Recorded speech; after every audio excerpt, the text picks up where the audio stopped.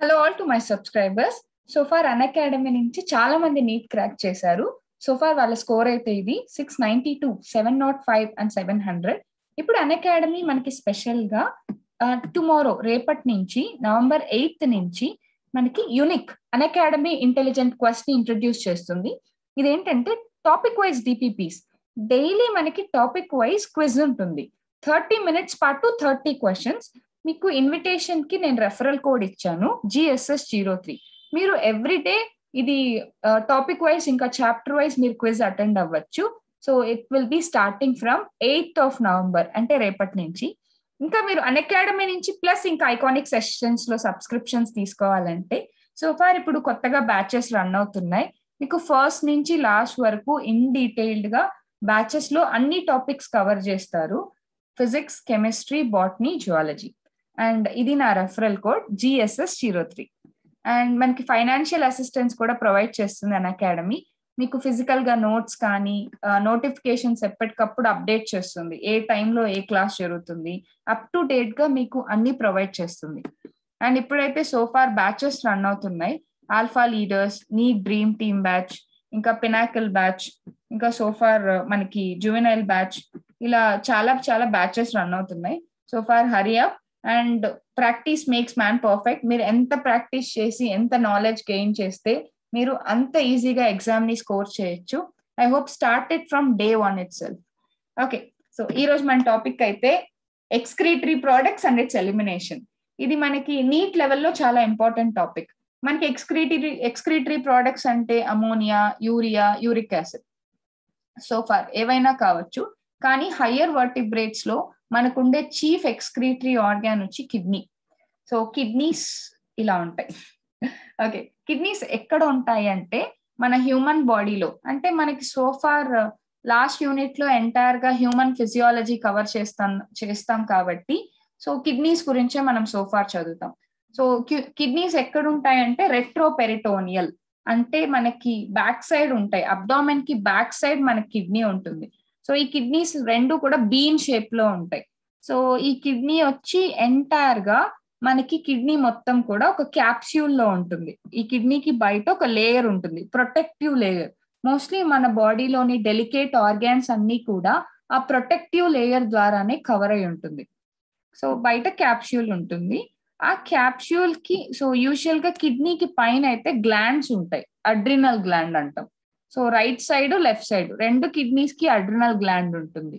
ఇంకొక important feature ఏంటంటే right kidney కొంచెం లోయర్గా ఉంటుంది లెఫ్ట్ కిడ్నీ కంటే. ఎందుకంటే రైట్ కిడ్నీని పైన ఉండే లివర్ పుష్ చేస్తుంది కాబట్టి. సో యూజువల్గా దీన్ని కాన్వెక్స్ సర్ఫేస్ అంటాం. ఇది బయటకు ఉంటుంది. ఇది కాన్కేవ్ ఇది లోపలికి ఉంటుంది. ఇది వచ్చి రీనల్ ఆర్టరీ బ్లడ్ని లోపలికి తీసుకొస్తుంది. ఇది రీనల్ వెయిన్ బ్లడ్ని బయటకు తీసుకొస్తుంది. So renal artery renal vein దీన్ని యూరెటర్ అంటాం. దీని ద్వారా యూరిన్ బయటకు వెళ్తుంది సో ఈ మూడు ఎక్కడి నుంచి అయితే లోపలికి వెళ్తూ బయటకు వస్తున్నాయో ఈ పార్ట్ని మాత్రం మనం హైలం అంటాం. So hilum. Hilum is the reason where the exit and entry of the organs will takes place so ఈ పార్ట్ని హైలం అంటాం. సో యూజువల్గా కిడ్నీకి ఇది లాంగిట్యూడినల్ సెక్షన్ ఈ లాంగిట్యూడినల్ సెక్షన్ ఆఫ్ ద కిడ్నీలో మనకి బయట కనిపించేదాన్ని కార్టెక్స్ అంటాం రీనల్ కార్టెక్స్ ఈ రీనల్ కార్టెక్స్లోనే మనకి మాల్ఫీజియన్ కార్పస్ క్యూస్ లేదా గ్లోమెరులస్ బౌమన్స్ క్యాప్సూల్ ఎక్కువగా ఈ కార్టెక్స్లోనే ఉంటాయి. యూజువల్గా కొన్ని నెఫ్రాన్స్ అయితే కార్టెక్స్ వరకే ఉంటాయి. వాటిని కార్టికల్ నెఫ్రాన్స్ అని చెప్తాం. దాని తర్వాత మీరు లోపల చూస్తే ఇదంతా కూడా రీనల్ మెడుల్లా కిందకు వస్తుంది. ఈ రీనల్ మెడుల్లాలోనే మనకి రీనల్ పిరమిడ్స్ ఉంటాయి. మీరు చూస్తే ఈ స్ట్రక్చర్స్ అన్ని కూడా పిరమిడ్ షేప్లో ఉంటాయి కాబట్టి వాటిని రీనల్ పిరమిడ్స్ అని చెప్పారు. ఈ రీనల్ పిరమిడ్స్లోని పీక్స్ని రీనల్ ప్యాపిల్లే అని పిలుస్తాం. సో ఇవి రీనల్ ప్యాపిల్లే ఈ రీనల్ ప్యాపిల్లే వచ్చి యూరిన్ని ఈ చిన్న చిన్న చాంబర్స్లో రిలీజ్ చేస్తుంది. ఈ చిన్న చిన్న చాంబర్సే మనకి రీనల్ క్యాలిక్స్ ఈ రీనల్ క్యాలిక్సెస్ అన్ని కలిసి ఈ చిన్న చిన్న చాంబర్స్ అన్ని కలిసి ఒక పెద్ద చాంబర్తో కలిసిపోతుంది. దాన్నే మనం రీనల్ పెల్విస్ అంటాం. ఈ రీనల్ పెల్వెస్ కాస్త యూరిన్ని ఫైనల్గా యురటర్ లోపలికి రిలీజ్ చేస్తుంది. సో ఇది యూరిన్ ఎలా ఫామ్ అవుతుంది? యూరిన్ ఎలా పాస్ అవుతుంది అని చెప్పేది. అండ్ ఇది వచ్చి ఒక బ్రీఫ్ అన్నమాట కిడ్నీ స్ట్రక్చర్ గురించి. సో మీరు ఇక్కడ చూస్తే ఈ లేబులింగ్ ఒకసారి చూద్దాం. ఇక్కడ కనిపించేవి కార్టికల్ బ్లడ్ వెసల్స్ అంటే ఆ బ్లడ్ వెసల్స్ ఆ రీజియన్లో ఉంది కాబట్టి దాన్ని కార్టికల్ బ్లడ్ వెసల్స్ అంటాం. అండ్ ఇది వచ్చి ఇంటర్ లోబ్యులర్ బ్లడ్ వెసల్స్ అంటే ఒక లోబ్కి ఇంకో లోబ్కి మధ్యలో ఉంది కాబట్టి ఇంటర్ లోబ్యులర్ బ్లడ్ వెసల్స్ ఇది వచ్చి మైనర్ క్యాలిక్స్ అంటాం. ఇది వచ్చి మేజర్ క్యాలిక్స్ అంటే చిన్నదిగా ఉంటే అవి మైనర్ క్యాలిక్స్ పెద్ద ప్యాసేజెస్ లా ఉంటే అది మేజర్ క్యాలిక్స్ ఇది వచ్చి మెడుల్లా మెడుల్లాలోనే మనకి మెయిన్గా మెడుల్లరీ పిరమిడ్స్ ఉంటాయి. ఇది క్యాప్స్యూల్ అంటే మనకి ఈవెన్ కిడ్నీ కూడా internal organ which is a delicate structure వాటికి కూడా ప్రొటెక్షన్ కావాలి కాబట్టి వీటికి కూడా బయట ఒక ప్రొటెక్టివ్ లేయర్ ఉంటుంది. దాన్ని మనం క్యాప్స్యూల్ అని పిలుస్తాం. ఇది యురెటర్ సో మనకి రెండు కిడ్నీస్ ఉంటాయి. అలానే రెండు యురెటర్స్ ఉంటాయి. యూరిన్ ఏదో ఒక ట్యూబ్ ద్వారా బయటకు పాస్ అవ్వాలి. కిడ్నీస్ నుంచి బయటకి యూరిన్ని పాస్ చేసేది యురెటర్ ఇక్కడ ఎటువంటి ఫిల్ట్రేషన్ రీఅబ్సార్ప్షన్ సెక్రీషన్ జరగవు. ఓన్లీ దీని వర్క్ ఏంటంటే జస్ట్ పాస్ చేసేయడం అంతే.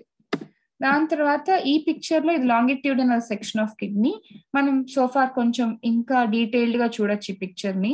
సో వీటిని మైనర్ క్యాలిక్స్ అంటాం. వీటిని మేజర్ క్యాలిక్స్ అంటారు. సో ఇక్కడ చూడొచ్చు. పెద్ద పెద్దగా ఉంటే అది మేజర్ క్యాలిక్స్ చిన్నగా ఉంటే అది మైనర్ క్యాలిక్స్ ఇక్కడ ఉండే నెఫ్రాన్స్ని జెక్స్ట్రా మెడులరీ నెఫ్రాన్స్ అంటాం. ఇక్కడ ఉండే నెఫ్రాన్స్ని కార్టికల్ నెఫ్రాన్స్ అంటాం. నెఫ్రాన్స్ అనేది కిడ్నీస్ యొక్క ఫంక్షనల్ యూనిట్ అండ్ ఇవి వీటిని ఇక్కడ కార్టికల్ గ్లోమరులస్ లేదా గ్లోమరులస్ ఉంటాయి ఇక్కడ. ఇక్కడ మీ పిక్చర్లో బాగా కనిపిస్తుంది. ఇది రీనల్ ఆర్టరీ బ్లడ్ని తీసుకెళ్తుంది. అఫ్రంట్ ఆర్టీరియల్ వచ్చి రీనల్ ఆర్టరీ యొక్క బ్రాంచ్ తర్వాత రీనల్ వెయిన్ రీనల్ వెయిన్ గుండా బ్లడ్ బయటకు వచ్చేస్తుంది ఫిల్టర్ అయిన బ్లడ్ బయటకు వస్తుంది ఫిల్టరేషన్ కోసం వెళ్ళాల్సిన బ్లడ్ రీనల్ ఆర్టరీ ద్వారా లోపలికి వెళ్తుంది ఇది డార్సల్ అయోటా యొక్క బ్రాంచ్ ఈ రీనల్ వెయిన్ వచ్చి ఇన్ఫీరియర్ వినాకేవాతో కలిసిపోతుంది. దీన్ని రీనల్ పెల్విస్ అంటాం. ఇది బ్రాడ్గా ఉన్న ఏరియా క్యాలిక్స్ అన్ని కలిసి ఒక బ్రాడ్ ఏరియాని ఫామ్ చేస్తుంది. అదే రీనల్ పెల్వెస్ ఇది యురెటర్ సో ఇది లాంగిట్యూడినల్ సెక్షన్ ఇది. దాని తర్వాత ఓవరాల్గా కిడ్నీ సో కిడ్నీని తీసుకుంటే మనకి రెండు కిడ్నీస్ ఉంటాయి. పిక్చర్లో కూడా మీరు చెక్ చేసుకోవచ్చు. రైట్ కిడ్నీ కొంచెం కిందకి డ్రా చేస్తారు. లెఫ్ట్ కిడ్నీ కంటే. ఎందుకంటే రైట్ కిడ్నీని లివర్ పుష్ చేస్తుంది కాబట్టి కిందకి. లెఫ్ట్ కిడ్నీ సైడ్ ఏం లేదు కాబట్టి పుష్ ఏం ఉండదు. రైట్ కిడ్నీ మాత్రం లివర్ ద్వారా కిందకు పుష్ అయి ఉంటుంది. ఇక్కడ చూస్తే మీరు ఇది కాన్ కేవ్ సైడ్ ఇది కాన్వెక్స్ ఇది వచ్చి vena cava inferior vena cava so దీంట్లోకి రీనల్ వెయిన్ కలిసిపోతుంది. ఇది dorsal aorta so dorsal aorta లేదా డిసెండింగ్ అయోటా. ఈ డిసెండింగ్ అయోటా నుంచి వచ్చే one of the major branch renal artery. So దాని తర్వాత ఇది యురటర్ రెండు యురటర్స్ ఉంటాయి. అలాగే రెండు యురటర్స్ కలిసి ఒకే ఒక బ్లాడర్లో కలిసిపోతుంది. సో ఒకే ఒక బ్లాడర్ ఉంటుంది. ఈ బ్లాడర్ వచ్చి ఇమీడియట్గా మనకి ప్యూబిక్ సింఫైసిస్కి వెనకాలే ఉంటుంది. ఈ బ్లాడర్లో ఏంటంటే మనకి డెట్రుసార్ అనే స్పెషల్ మసిల్ ఉంటుంది. ఆ డెట్రుసార్ అనే స్మూత్ మసిల్ ఓన్లీ కిడ్నీలో ఓన్లీ బ్లాడర్లో మాత్రమే ఉంటుంది. ఆ డెట్రుసార్ అనే మసిల్ స్ట్రెచ్ అయినప్పుడే ఆ స్ట్రెచ్ రిసెప్టర్స్ సెంట్రల్ నర్వస్ సిస్టమ్కి సిగ్నల్ పంపిస్తాయి. సిగ్నల్ పంపించి బ్లాడర్ ఫుల్ అయింది. For every two fifty ML of యూరిన్కి fill అయినప్పుడు మనకి తెలుస్తుంది సెన్స్ మనకి బ్లాడర్ ఫుల్ అయింది మనం యూరినేట్ చేయాలి అని. సో ఇక్కడ కనిపించేది యురెత్రా ఈ యురెత్రా అయితే ఫీమేల్స్లో వన్ పాయింట్ ఫైవ్ సెంటీమీటర్స్ ఉంటుంది అంతే మేల్స్లో అయితే ఫిఫ్టీన్ సెంటీమీటర్స్ ఉంటుంది. అంటే మేల్స్లో పెన్నిస్ లోపలికి ఎక్స్టెండ్ అవుతుంది కాబట్టి సో మేల్స్లో అయితే యురెత్రా అనేది కామన్ ప్యాసేజ్ సీమెన్కి ప్లస్ యూరిన్కి కామన్ ప్యాసేజ్ కానీ సీమెన్ వచ్చినప్పుడు యూరిన్ రాదు యూరిన్ వచ్చినప్పుడు సీమెన్ రాదు. ఆ కంట్రోలింగ్ మెకానిజం ఉంటుంది. యూజువల్గా యూరిన్ వచ్చినప్పుడు దాంట్లో ఎసిటిక్ ఎన్విరాన్మెంట్ ఉంటుంది పెన్నెస్లో. ఆ ఎసిటిక్ ఎన్విరాన్మెంట్ తీసేయడానికి మనకి చాలా గ్లాండ్స్ సెమైనల్ వెసికల్ కానీ బల్బో ఎరత్రల్ గ్లాండ్స్ కానీ హెల్ప్ చేస్తాయి. ఆ అసిడిటీని తగ్గించడానికి ఆల్కలైన్ సబ్స్టెన్స్ని ఎక్కువగా రిలీజ్ చేస్తుంది. సో మనం వాలంటరీగానే యూరిన్ని ఎక్స్క్రీట్ చేస్తాం. సో మనకి బ్లాడర్ ఫిల్ అయినప్పుడు మన సిఎన్ఎస్ వాలంటరీగా ఎక్స్టర్నల్ యురెత్రల్ స్పింక్టర్ అది మన కంట్రోల్లోనే ఉంటుంది. ఇంటర్నల్ యురెథ్రల్ స్పింక్టర్ మన కంట్రోల్లో ఉండదు. మనం ఎక్స్టర్నల్ యురెథ్రల్ స్పింక్టర్ని కంట్రాక్ట్ చేసినప్పుడు యూరిన్ యూరిన్ స్టాప్ చేయగలం. అదే ఎక్స్టర్నల్ యురెథ్రల్ స్పింక్టర్ని రిలాక్స్ చేసినప్పుడు యూరిన్ బయటకు వెళ్ళిపోతుంది. దాన్ని మిక్చురీషన్ అంటాం లేదా యూరినేషన్ అంటాం లేదా వాయిడింగ్ అంటారు సో మిక్చురేషన్ యూరినేషన్ వాయిడింగ్ అన్ని మూడు కూడా సేమ్ సో ఇవి సోఫార్ ఒక ఓవర్ వ్యూ గురించి. సో దీని మీద మీరు కమెంట్ చే మీరు కమెంట్ బాక్స్లో పెట్టండి మీ ఒపీనియన్ ఏంటో. ఈ టాపిక్ మీకు ఎంత వరకు అర్థమైంది? ఇంకా సోఫార్ మీకు ఏ ఏ టాపిక్స్ కావాలో నాకు కమెంట్ బాక్స్లో పెట్టండి. అండ్ సోఫార్ ఇప్పుడు మన అన్ అకాడమీతో టైప్లో ఉన్నాం కాబట్టి మీరు ఫ్రీ కంటెంట్ని కూడా నా రెఫరల్ కోడ్ ఉపయోగించి అన్లాక్ చేసుకోండి. మీకు చాలా బెనిఫిషియల్గా ఉంటుంది. ఇంకా ఫిజిక్స్ కెమిస్ట్రీ కూడా. Okay thanks a lot for being in the session bye